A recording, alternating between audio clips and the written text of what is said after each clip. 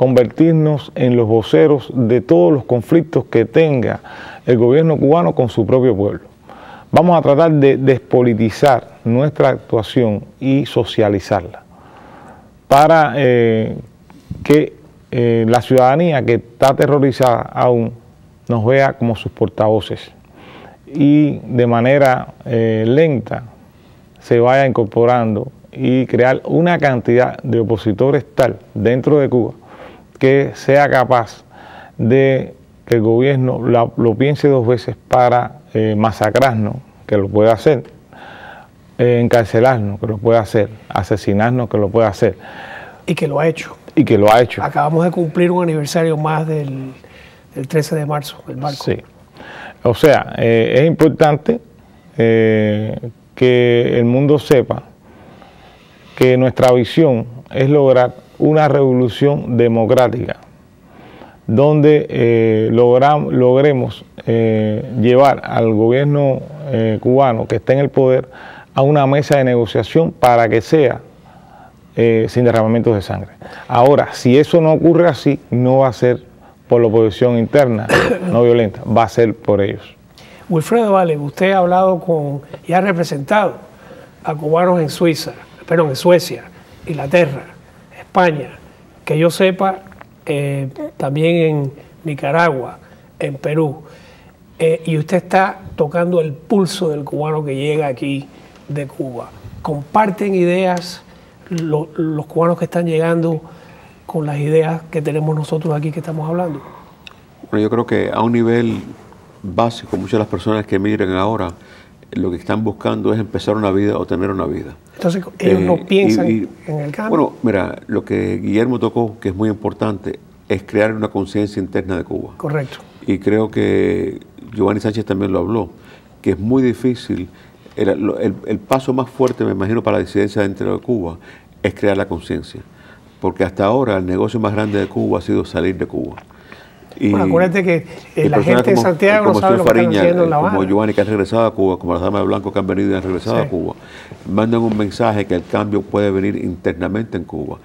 Y el interés mío es que Guillermo nos dé más orientación sobre lo que tenemos que hacer nosotros desde aquí para ayudarlos allá y que el negocio más grande de Cuba sea cambiar a Cuba de una forma pasiva como él, como él ha hablado y como se quiere hacer con la incidencia interna de Cuba y no que sea salir de Cuba. Santiago, estás también monitoreando lo que pasa en Cuba. Háblanos de lo que estás oyendo. No, eh, coincido con la idea de, Willy.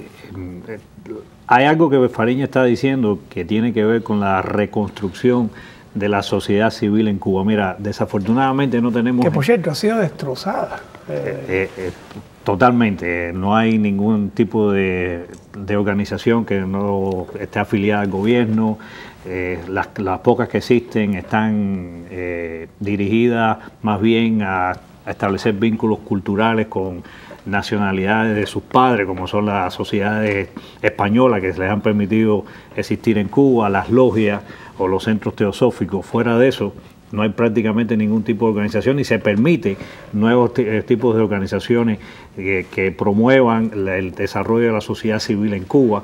Tampoco hay una conciencia de, industria, de empresa privada. Eh, está muy incipiente estas cosas que están sucediendo. Ahora han sido 54 años de sistemática destrucción de una sociedad que había sido construida sobre la base de 300 o 400 años de historia. Pero usted que está al tanto de esto, ¿no ve usted ahora que están aflojando eh, las leyes para que puedan salir de Cuba, ¿esto es cosmético o esto que hay cambios de verdad? Yo creo que todo esto es hasta ahora ha sido plenamente cosmético y tiene, eh, tiene quizás el propósito de la perpetuación, el poder de esto de la familia Castro y, sus sucesores. Sencillamente ellos han creado una especie de eh, monarquía tropical, de aristocracia castrense y sencillamente están pasándose a los mandos y los poderes a, la generación más joven de la familia Castro.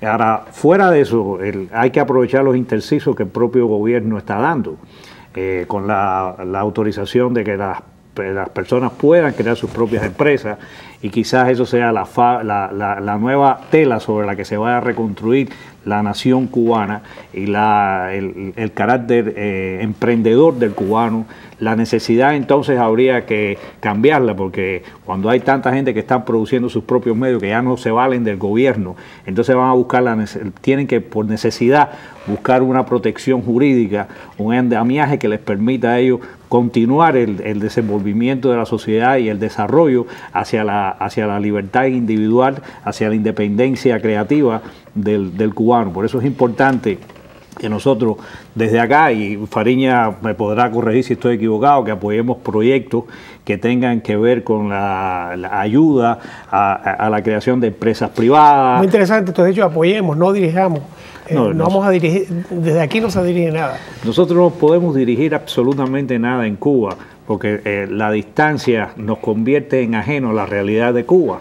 Y son, eh, son los cubanos los que tienen que decidir, los que viven allí, con la colaboración de todos, por supuesto, porque a todos tenemos derecho a la patria y eso no lo puede quitar nadie. Por supuesto. Pero sean ellos los que dispongan qué debemos nosotros desde acá hacer en colaboración de lo que ellos están enfrentando en Cuba. Guillermo, dos preguntas a usted.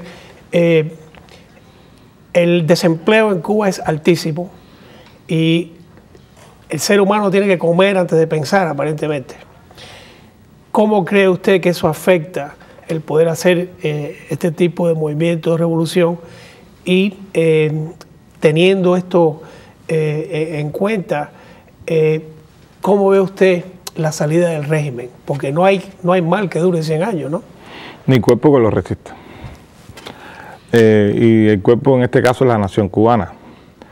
Bueno, creo que es importante valorar, sobre todo, que estamos en una etapa crucial del gobierno cubano, de la sociedad cubana, de la nación cubana, de la historia de Cuba.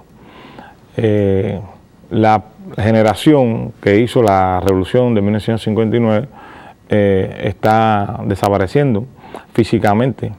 O sea, no hay semana en que alguien de esa generación no se vaya de este mundo. Y eh, es indiscutible que debemos prepararnos para eso, como demócratas cubanos. Los de aquí, los de la diáspora y los de allá. Porque lo importante es que debemos hablar como nosotros. Eh, los demócratas cubanos, estén donde estén, debemos prepararnos también para eso, porque el gobierno se está preparando. El gobierno se está preparando para tratar de imitar eh, lo que hicieron en Rusia en Bielorrusia. O sea, cambiar para no cambiar nada. Eh, y nosotros debemos, como eh, cubanos demócratas, ponerle toda una serie de condicionamientos para legitimar o no lo que están haciendo. Y eh, estos condicionamientos deben estar enfilados a crear un Estado de Derecho en Cuba. Pues estaremos hablando hasta de un partido, que eso lo prohíbe la Constitución. O partidos. O partidos. o partidos. No, no, no, tenemos por qué decir uno, podemos ser plurales, aunque eh, creo que en los primeros momentos los partidos democráticos debemos eh, hacer una coalición única para poder eh, derrotar a los castristas pero debemos condicionar, esto es importante, o sea, no podemos ver estas medidas que se están tomando hasta ahora y las que se tomarán como algo positivo, debemos verlo como parte de un engaño. Y eh, mientras no lo veamos así, vamos a ser víctimas de la frustración y es lo que debemos evitar. Eh, creo que es, sumamente esencial que todos los cubanos eh, asuman que el gobierno está tratando de engañarnos nuevamente como lo ha engañado durante 54 años. ¿Pudiésemos tener este tipo de conversación allá o es un riesgo muy grande para todos los que están allá el tratar de tener este tipo de programa?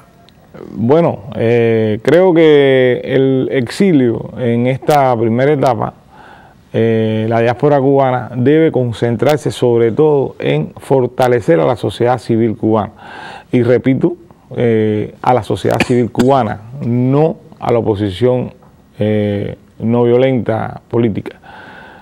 Todas las personas que no dependan del gobierno cubano deben ser fortalecidas. Y estoy hablando de las fraternidades, estoy hablando de las iglesias no manipuladas por el gobierno cubano, estoy hablando de los blogueros, estoy hablando de los intelectuales independientes, estoy hablando de los abogados independientes, eh, estoy hablando, de, por supuesto, de los movimientos y partidos políticos. Eh, todo eso debe ser fortalecido eh, y identificar fundamentalmente qué organizaciones que se dicen no gubernamentales en realidad lo son y cuáles organizaciones en realidad no lo son. Yo, Quedan dos minutos, así que te pido que sea breve. Muy breve. Volviendo al tema de Sudáfrica como parangón paralelo a lo que pudiera suceder en Cuba, es lastimoso que nosotros no tengamos un Desmond Tutu en Cuba. Pero existe, lo que no lo hemos encontrado. Eh, sí, pero la, jerarquía de la iglesia cubana podría haber, haber mostrado mucho más interés con el deber que tienen eh, con, esa, con, esa población que está eh, cada vez más ferviente y deseosa de la, de la razón de Dios. esperando a que... A que, a que la, la, jerarquía de la Iglesia Católica se volque a hacer cosas que ya están haciendo los párrafos. Necesito a Willy para que se despide. Willy. Bueno, Luis, gracias por invitarme para poder compartir con el gran Santiago y con el señor Fariña, que ha admirado tanto por tanto tiempo. Y lo que yo le diría a usted, señor Fariña, es que nos diga cómo nosotros podemos directamente involucrarnos con usted y con lo que usted está haciendo para poder ayudarlo directamente. Y lo vamos a hacer. Nos queda un minuto, Guillermo. Yo quisiera decirle a usted que estamos aquí para ayudar. Y lo que cuando hablamos de que queremos participar es ayudando, no mandando. Aquí sobran los soldados. Eh, quiero felicitarlo por la labor que está haciendo y quiero decirle que usted para nosotros es una gran inspiración y poder estar a su lado a nosotros nos hace más grandes y a nuestra nación nos hace más grandes. Creo que nos quedan 10 segundos. ¿Quiere decir usted lo Bueno, eh, veo que a veces se ha centrado en Guillermo Fariña, que es el que ha podido salir, pero es importante que se sepa que existen dentro de Cuba cubanos eh, tan o más valerosos que yo, no han podido estar aquí, algún día estarán y sobre todo que eh, esto es una cuestión colectiva, es una cuestión eh, patriótica, no es una cuestión personal. Eh, cuando veamos la causa de Cuba como una cuestión de todos nosotros, entonces triunfaremos. Muchas gracias. Yo quisiera destacar que ese premio que usted se ganó, que nos hace a todos nosotros muy orgullosos, hay 12 millones de cubanos que tienen un pedacito también. Lamento que se nos ha acabado el tiempo. Muchas gracias a todos, gracias al staff y hasta la semana que viene. Que tengan una buena semana.